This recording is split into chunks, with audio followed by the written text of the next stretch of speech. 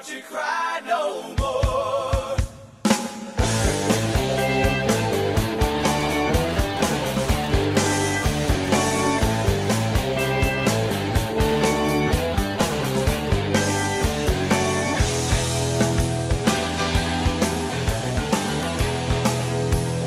guys, uh, this is the Canadian Baconer, and many of you have been asking me to do a setup tour and a Q&A and I'm happy to say that I will finally be doing one at 500 subscribers.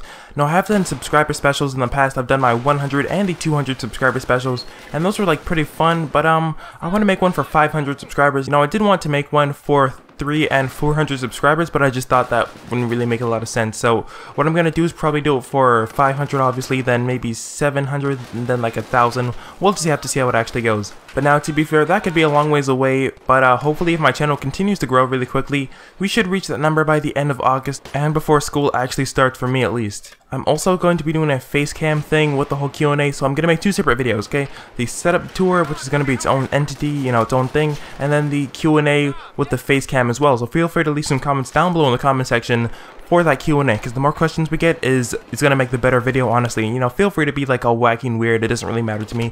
But you know, go ahead and just try and get some comments in the comment section below. You can submit more than one if you guys are um, questioning that, but you know, yeah. But if you guys are really anxious and you have not seen my face yet, I know there are a lot of people that have not seen my face since the 200 subscriber specials. I'm going to leave a link to the 100 and 200 subscriber specials in the description below, as well as like a little annotation up on the screen right now.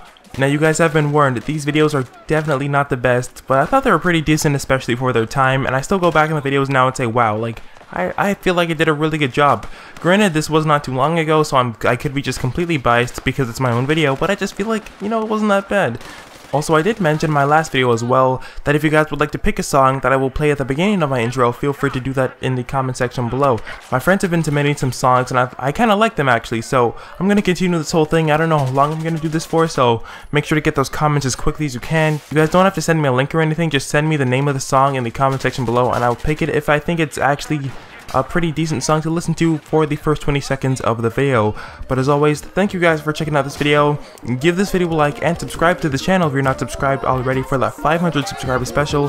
And this has been the Canadian Baconer. Stay crispy and I will see you in the next video. Peace.